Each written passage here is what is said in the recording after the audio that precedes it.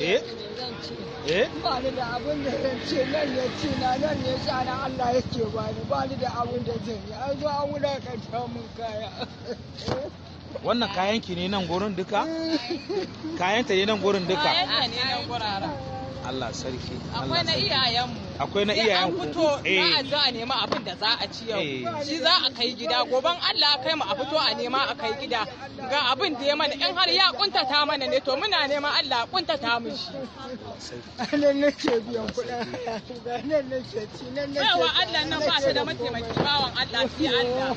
Ba ta da miji ba ta da wanda zai taimaka mata sai gurin Allah sai wannan sana'a. Allah sarki Fisibilillahi ita ne kuɗin haya, ita ne abincin da za a ci, ita ne kuɗin makarantar yara.